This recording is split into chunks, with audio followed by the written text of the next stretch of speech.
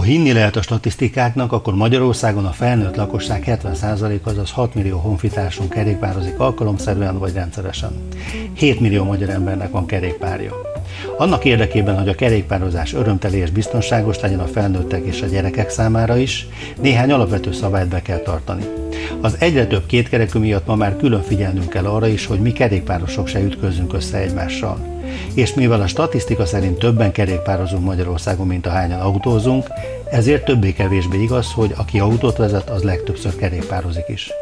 Ezért az autóvezetőktől, mint kerékpáros társainktól azt kérjük, hogy autóvezetés közben is legyenek tekintettel a pedálosokra, és előzéskor tartsanak kellő oldaltávolságot. Nekünk felnőtteknek kell vigyázni a gyerekekre, és megtanítani őket a biztonságos közlekedésre.